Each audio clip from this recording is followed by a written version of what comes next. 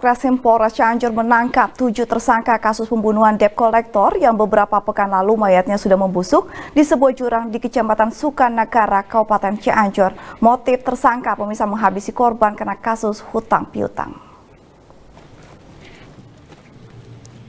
Inilah ketujuh tersangka yang ditangkap Satreskrim Polres Cianjur. Ketujuh pelaku ini terdiri dari penadah dan pembeli motor korban, serta dua eksekutor pembunuh Jenal Opus Sunggu Aritonang.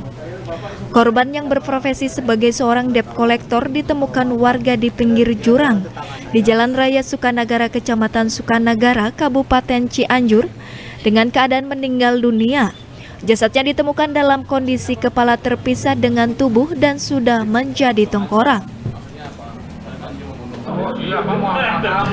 Motif tersangka membunuh korban karena tersangka AP alias AHEX tidak terima saat ditagih hutang senilai 150 juta rupiah dengan emosi.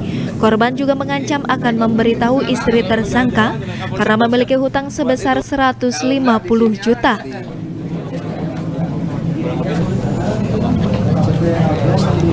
Tersangka utama AHEX yang tidak terima dengan ancaman korban langsung memukul korban menggunakan balok dibantu CK.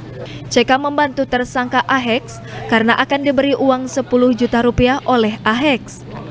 Korban dipukul hingga meninggal dunia di tempat. Lalu tersangka menggunakan mobil membawa jasad korban ke sebuah tebing lalu dibuangnya. Motor korban pun diambil dan dijual tersangka. Korban ditemukan setelah sebulan setelah keluarga melapor kehilangan anggota keluarganya ke pihak kepolisian. Sebelumnya udah ada niat? Awalnya mah nggak ada niat buat membunuh, cuman kayaknya mau niatnya apa pakai magic gitu pak. Jadinya puas. Enggak kamu direncanain nggak mau membunuh? Belum. Nah, direncanakan kapan pada saat membunuh? Ya, spontan itu aja. Spontan?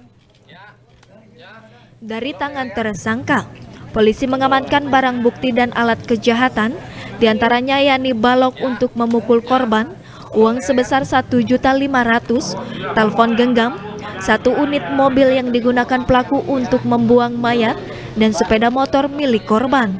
Ya, 150 juta ditagih terus dengan ada marah, akhirnya dia malu dan kecewa sempat ada ancaman mau dipermalukan ke istrinya, keluarganya. Uh, sehingga menimbulkan merencanakan untuk menghabisi saudara Aritonang.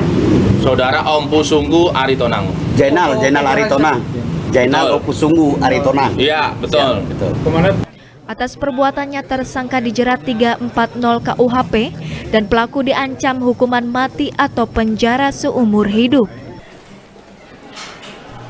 Heri Setiawan, Bandung TV